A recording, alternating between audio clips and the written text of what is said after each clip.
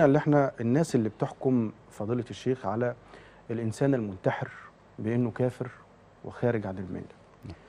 ممكن إحنا ما ينفعش نحكم على الناس يعني ما ينفعش نحكم على المنتحر إن هو في النار أو في الجنة وما ينفعش نحكم عليه اللي هو كافر أو آه، فعل كبيرة من الكبائر. ولكن اللحظة الفارقة بين ال- اللي الدكتورة قالتها ان ممكن في لحظة ضعف الإنسان يصاب بمرض ذهني أو يحصل له. خلل في هرمونات المخ أو وفياخد قرار الانتحار فإحنا الإنسان اللي أقدم على الانتحار إنسان كافر ولا فعل كبيره من الكبائر يحاسب عليها أمام الله هو يعني قبل أن نبين هذا الحكم آه، لو نظرنا زي ما الدكتورة ذكرت في مسألة إن عند نزول صدمة أو شيء أو فقدان عزيز ونحو ذلك لو نظرنا إلى تعاليم ديننا الحنيف لوجدنا مثلا ورد في الحديث أن أن في الحديث القدسي عن رب العزة تبارك وتعالى يقول الله تعالى ما لعبدي المؤمن إذا ابتليته بفقد من يعز عليه فقده. الفيصل بقى إيه؟ فصبر لا جزاء له عندي إلا الجنة. الله. علشان كده العلماء يقولوا إيه؟ الصبر مر لكن ثمرته حلوة. وليس امرا سهلا. علشان كده ورد إنما يوفى الصابرون أجرهم بغير حساب. آه. فالجانب ده إذا موجود عند الإنسان مهما نزل عليه من البلايا والمصائب والمتاعب. نعم صح. بتلاقي عنده قوة.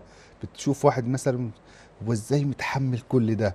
وتلاقيه راضي ومبسوط وسعيد حقيقي. ليه لأنه يعلم أن ما شاء الله كان وما لم يشاء لم يكن عشان كده. بدأت. به- بهذه النقطة الأنبياء ال- والصحابة نعم. ان دي حاجة وكل ربنا الناس. دي مرت عليها أيام صعبة وهو ب... الإنسان لابد أن يضع في ذهنه ولابد أن يضع في اعتقاده أن الدنيا دار بلاء ليست هي الحياة. الحقيقية آه. إنما هي دار ممر فمهما أصابه فيها من بلايا من هم من, من أمور فصبر وسلم أمره لله فإنه يجازى في الآخرة خيرا. ولا وقضاء الله نافذ. وإن اعترض على الله وقتل نفسه وفعل وفعل. هنا فضيلة ال- الشيخ الناس اللي بتقول إن المنتحر كافر. ما هنا بقى هنبين بقى الحكم. لابد من بيان الحكم في هذه المسألة. تمام. آه العلماء يقولوا المنتحر على قسمين. أو حكمه على قسمان. إما أن يكون بهذا الفعل خرج من الدين وإما أن لا يكون خرج من الدين. متى يكون خرج من الدين؟ إن كان فعله هذا فيه اعتراض على قضاء الله اعتراض على ما قضاه الله وقدره فكفره لا يكون لانتحاره أو لقتله لنفسه إنما كفره بسبب أنه لم الله. يسلم لأمر الله ويأس من لقضاء الله الله. آه. وقدره بل اعترض على قضاء الله وأول كفر إحنا عارفين حصل بسبب الحسد وكان الاعتراض على الله لما حصل من إبليس تمام إبليس لو كان آه، مثلا أمر بالسجود فلم يسجد وانتهى الأمر كان عاصيا لكنه اعترض على الله تبارك وتعالى. إلا إبليس أبى واستكبر. فده ده, ده المشكلة هنا اللي هو كفر الإباء والإعراض أنه لم يسلم لم يرضى بقضاء الله وقدره بل اعترض على الله عز وجل. عشان كده قلنا في كل الأحوال قضاء الله نافذ. تمام. سواء الإنسان مننا سلم لله أو اعترض على الله هو قضاء الله نافذ في في الحالتين. أما إنه لو سلم لله يكون فائزا رابحا ولو اعترض على الله يكون خاسرا والعياذ بالله. فده الحكم الأول. أو استحل هذا الفعل. استحل. يعني قال إنه ده حلال وأنا أقدر أعمل اللي أنا عايزه ومش عارف إيه. استحل هذا الفعل. تمام. الله يقول في القرآن ولا تقتلوا أنفسكم إن الله كان بكم رحيما. رحيمة. فده الأمر الأول. الأمر الأمر الثاني بقى اللي هو الحكم الثاني. يبقى حضرتك كده لو يائس من رحمة الله. اللي هو اعترض على. قضاء الله. آه فده ده كده أو ده ده يموت هذا ده. يموت على الكفر. بيكون ليه لأنه استحل ما حرمه الله. تمام. واعترض على ما على قضاه قضاء الله الله وقدره. واعترض على الابتلاء. فده يبقى كفره ليس بسبب القتل ولكن لهذا الفعل. تمام. لهذا الاعتقاد لهذا تمام. الأمر. ده الأمر الأول. الأمر الثاني لو الانسان لو هذا الإنسان هو يعني مسلم لله تبارك وتعالى وغير معترض على قضاء الله وقدره إنما يعني ضاقت به الدنيا وضاقت به الحياة فظن إنه المخرج الوحيد عشان يخلص من كل الهموم دي إنه هو آه، ينتحر في إنه- دي هو كان مدرك لعملية الانتحار. هو مدرك طب مدرك ليها لكنه وكان ليس عارف آه، اللي هو لو مات هيكون آه، فعل كبيره من الكبائر. لكنه ليس مستحلا.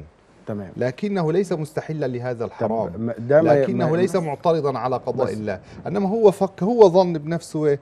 إنه ده المخرج إنه عشان أخلص بقى من الدنيا واللي فيها. الحته دي دايما بنقول إن هي مثلا ربنا اللي اعلم بيها. ما بقول يبقى ربنا سبحانه وتعالى هو الأعلم لك بنفسيه ده- المنتحر. لا وفي ساعات يقول لك اللي انتحر ده ممكن يكون أصلا هو كان فاقد عقله قبل ما ينتحر. فما ده- يتعاملش بقى- آه ده صح كلها؟ أمور تانية آه، عشان آه. كده إحنا دي, دي قلنا أمور تانية آه آه آه، عشان كده قلنا هو ربنا اللي الأمر أدرى بيها فعلا. متعلق بشقين. الشق الأول وذكرنا إنه. متى يكون كفرا أما الشق الثاني وده بالغالب بيكون عليه كثير من كثير الناس صح آه بالغالب العام بتلاقي كثير من الناس بهذه الطريقة لا غير مستحل لهذا الفعل وغير معترض على قضاء الله وقدره إنما عليه هو فكر أن المخرج الوحيد له من هذه المشاكل والمتاعب أنه يريح نفسه تمام. ويخرج من هذه في الدار. في والحديث ورد إنه اثنين من الصحابة طفيل بن عمرو كان في صحيح مسلم وواحد تاني من الصحابة خرجوا إلى المدينة.